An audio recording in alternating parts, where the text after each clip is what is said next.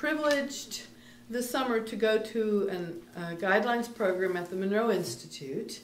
And at the program, our trainers wrote a song parody about Bob Monroe. And they have very graciously allowed me to sing it for you, as long as I credit them with writing it. So here's what they said. This is revised by Scott Taylor and Franceen King with sincere apologies to Paul Simon.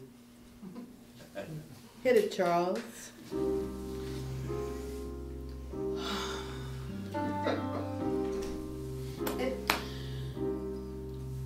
the problem is all inside your head, Bob said to me. The answer is easy if you take it logically. I want to help you.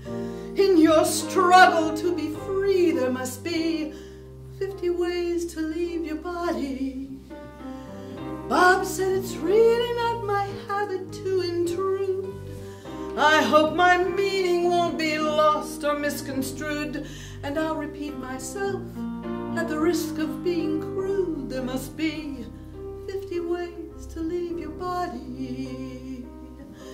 50 ways to leave your body. Slip out back, Jack. Missed out your head, Fred. Climb up the rope, Hope and get yourself free. Roll out the side, Clyde. Get ready for quite a ride. Intentions the Keeley, so get yourself free.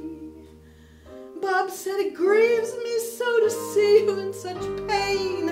I wish there was magic to help you rise again. Well, I appreciate that, but um, could you please explain, you know, about those those 50 ways? You were talking about um, 50 ways I could leave my body.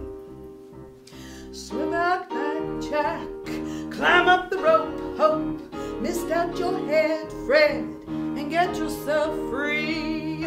Roll outside, Clyde, get ready for quite a ride. Intentions are Keeley, so get yourself free.